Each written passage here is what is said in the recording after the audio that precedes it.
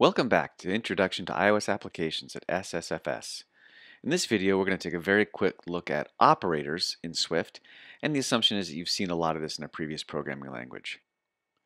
The first operator we're going to talk about today is the assignment operator, and it's one you've seen before.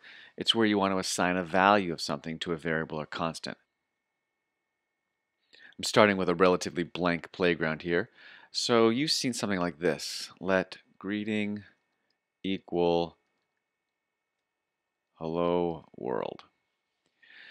And again, you see I've used the equal sign, which is an operator, and it's called the assignment operator because I'm going to assign the value of hello world to the variable greeting. Okay, so that's assignment. It's also possible to do a lot of very simple mathematical operations in Swift, again, similar to what you've seen in other languages before. So I might have a variable result, which equals 5 times 3. And after I run it, I see that 15 is 5 times 3. I can do the same thing with uh, other operators too, like 12 minus 20, and I get negative 8. One operator to be careful of is division.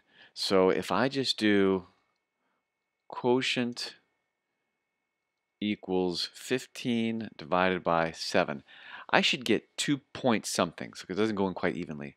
When I run that, you can see it gives me the integer 2. And in Swift, as like in many other programming languages, division is integer division, so it always truncates the decimal.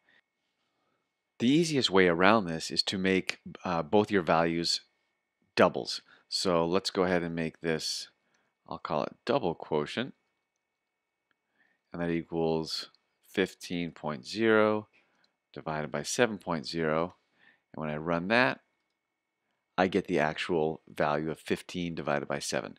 So again, I just made them de um, decimal numbers, and I got my correct value. Well, you can also do operations on variables. I don't have to actually hard code these numbers in.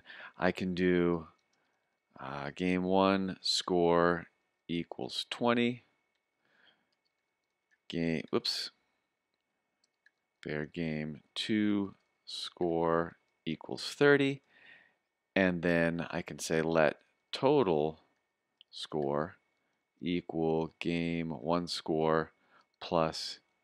And you can see that as I'm starting to type, it's uh, Xcode is offering me possibilities. So I don't have to type the whole thing in. I can just hit return when it comes up with the one I want.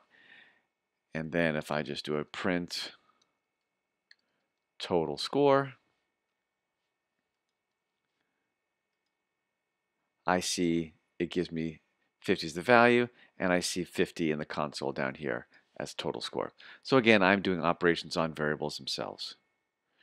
You can actually do operations on the same variable. So for example, if I have age equals 25 and I have a birthday, I can say age equals age plus 1. And now my age is 26. I've increased it by 1. This is actually kind of the a long way to write it. So Swift has built-in shortcuts. So I can do age plus equals 1, which is the same thing. And so now I've added one more to it, so it's 27. So this is a shorthand way of writing this.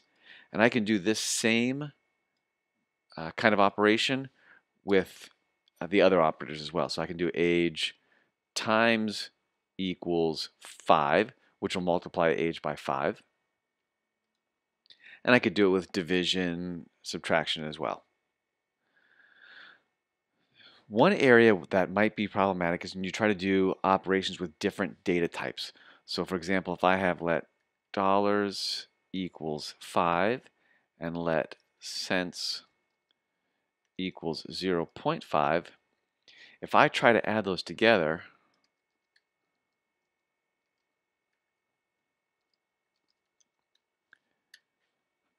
Let's see what happens when I try to do that, when I try to run that. I get it, I get the problem because I'm trying to add an int and a double and I cannot add two of the same type. So one of the things I can do is convert dollars, which is an int, to a double. And the way I do that is I just preface it with the word double and put it in parentheses. So what this does, this converts dollars to a double. So now I'm adding a double and a double. And if I run that, I get the, the correct value.